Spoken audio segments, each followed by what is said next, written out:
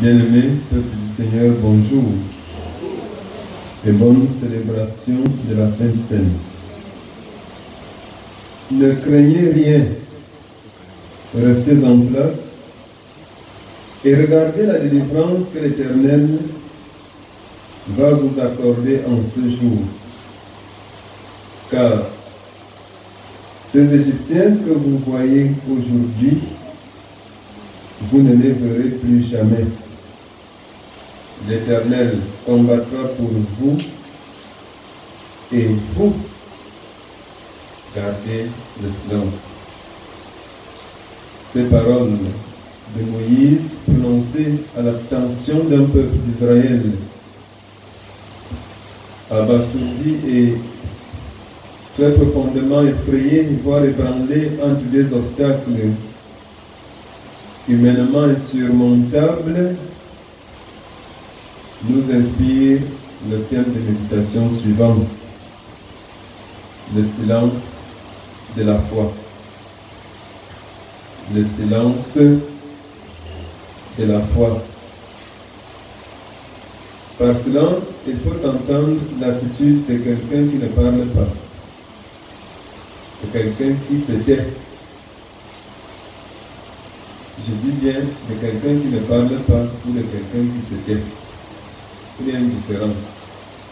Quelqu'un qui ne parle pas peut ne pas parler parce qu'il n'a rien à dire. Ou bien parce qu'il refuse de dire ce qu'il a à dire.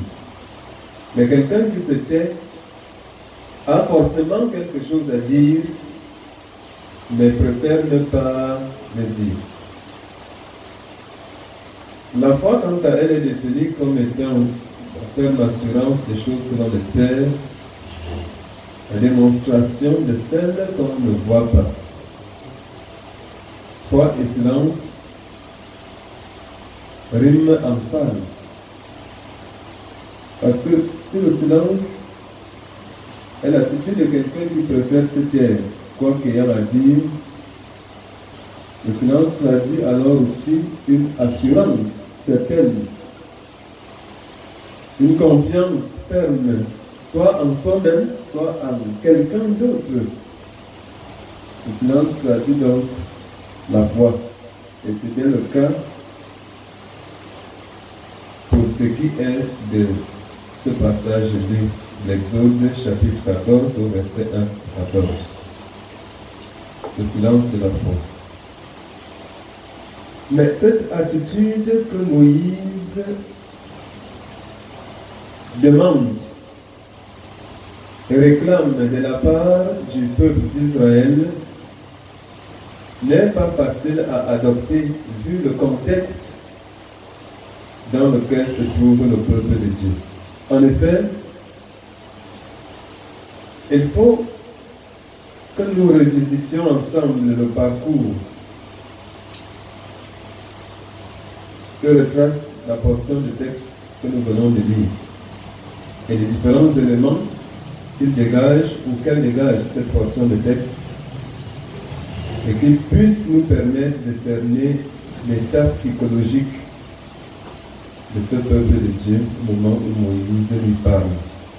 Premièrement, le peuple est en esclavage en Égypte. Et à travers Moïse, le peuple espère une libération. Mais le peuple a des doutes au vu de sa faiblesse, d'une part, et de la puissance de Pharaon, mêlé à son endurcissement. Il ne veut pas laisser aller le peuple. Et le peuple semble avoir dit à Moïse que, regarde, laisse la paix là. On reste ici, on va travailler. Puisque l'auteur biblique le signale, à travers la question que le peuple pose à Moïse, ne t'avons-nous pas dit en Égypte, laisse-nous servir les Égyptiens, nous préférons encore servir les Égyptiens que d'aller mourir de faim au désert. Et quand Dieu décide de libérer le peuple, il ne fait pas partir le peuple d'Égypte à Canaan la terre promise à travers l'isthme de, Suez, chemin qu'il pouvait faire normalement à pied sec et en moins de temps. Il dit au peuple, faites un détour et allez vers le sud de l'Égypte, dans la région de la mer Rouge, à Baal Tsepon, dit à Hérode, vous allez y camper. On ne comprend pas pourquoi est-ce que Dieu fait ce choix. Pourquoi nous envoyer là-bas là où il y a les obstacles, beaucoup, beaucoup comme ça. La mission, on réussit même à traverser la mer. Il y a le désert qui nous attend avec tout le danger que cela représente. Mais Dieu lui-même donne la raison. Là, à Hérode, je vais endurcir le cœur de Pharaon en Égypte et il va vous poursuivre avec son armée. Et cette situation vise quoi? La manifestation de ma puissance et de ma gloire. Afin que tous les Égyptiens comprennent que je suis seul l'Éternel.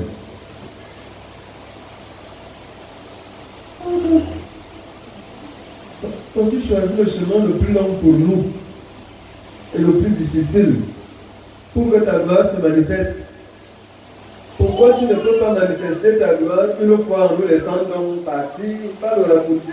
On arrive vite. Bien-aimés dans le Seigneur, nous sommes comme dans un film d'action où l'acteur ne s'en sort jamais facilement. Il faut qu'il se batte, qu'il combatte, n'est-ce pas? Parfois, on a l'impression qu'il va même déjà mourir, mais après il se relève. Parce que la vie est un combat. Est-ce qu'il y a des combats sans adversaire? Comment notre foi s'exprimerait-elle si on ne fait pas face à un moment donné à l'adversité? Il faut bien que nous rencontrions l'adversité que nous endurions des vicissitudes de la vie, que nous rencontrions des difficultés sur notre chemin, afin que la puissance de Dieu se manifeste. Si Dieu ne nous délivre pas de la maladie, de la mort, si Dieu ne nous délivre pas des situations humainement insurmontables, comment sa toute puissance s'exprimerait-elle Comment sa gloire se manifesterait-elle Et si nous, nous ne passons pas par ces moments difficiles, ces périodes de vaches maigres, de traversée du désert, comment Dieu va-t-il nous délivrer et de quoi nous délivrera même-t-il Nous délivrera-t-il même? Il faut bien que nous connaissions des moments difficiles afin que lorsque le Seigneur nous en délivre, sa gloire soit manifestée. La vie chrétienne, la foi en Jésus-Christ n'est pas une immunisation. Elle ne nous met pas à l'abri des difficultés. Au contraire, elle suscite la foudre de Satan et qui va nous torturer par une panoplie de persécutions? Le chrétien n'est donc pas celui-là qui ne tombera jamais malade, non, mais celui-là qui tombera malade, mais que le Seigneur relèvera de sa maladie. Parce que notre Seigneur Jésus-Christ lui-même a dû connaître la mort pour que la toute puissance du Père soit manifestée à travers sa résurrection d'entre les morts. Ça, c'est de, de deux.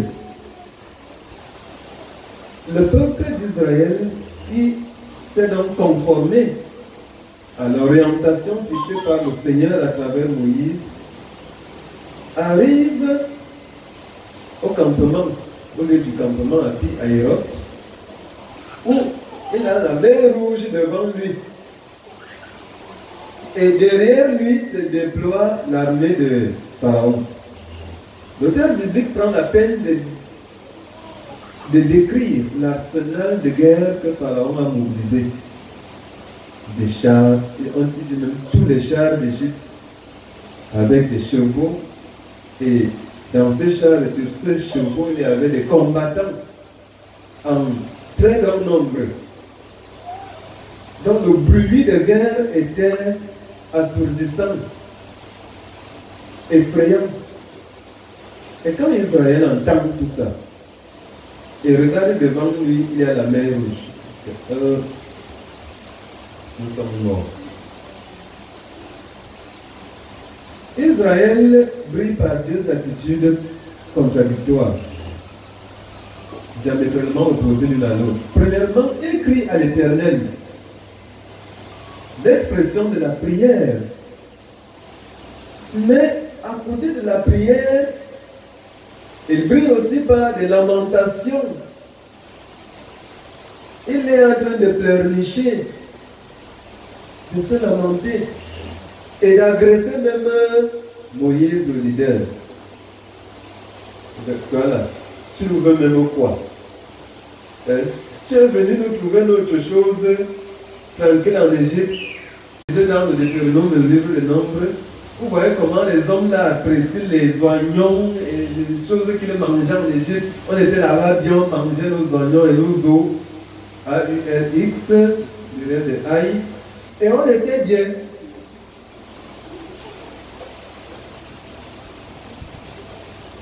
Et il demande à Moïse, est-ce que ce n'est pas ce qu'on t'avait dit alors qu'on était en de Pardon, laisse-nous ici. On ne peut pas aller là où veux nous amener là. Voici donc, Pharaon est derrière, la mer est devant. On fait comment? Nous aussi, comme chrétiens, il nous arrive des moments de... Je voudrais créer un mot des, moments didimatoires, c'est-à-dire des moments où nous nous comportons comme didymes, où nous affichons deux faces. Une face qui semble exprimer notre foi et une autre qui exprime radicalement le contraire, donc notre incrédulité. En même temps, on prie Dieu, en même temps aussi, on a peur, on s'inquiète, on se lamente, on s'agite. N'est-ce pas? N'est pas vrai.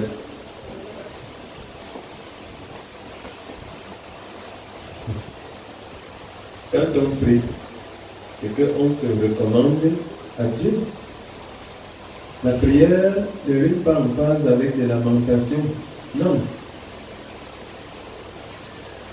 Quand on prie, même si on se retrouve dans quelle situation, pas de lamentation. Israël aurait dû se limiter à l'essentiel, ne pas se lamenter. Face à la difficulté, face à l'épreuve, prions et cela suffit. C'est alors que Moïse va rassurer le peuple. Mais il, vaut mieux, comme chrétien, garder quoi? Le silence. Car l'Éternel combat toujours pour nous. Bien-aimé dans le Seigneur, tant qu'on n'est pas mort, la toux ne quitte pas la gorge. Dit un populaire. Autrement dit, tant qu'on est sur terre, notre foi sera toujours passée à l'épreuve de la souffrance.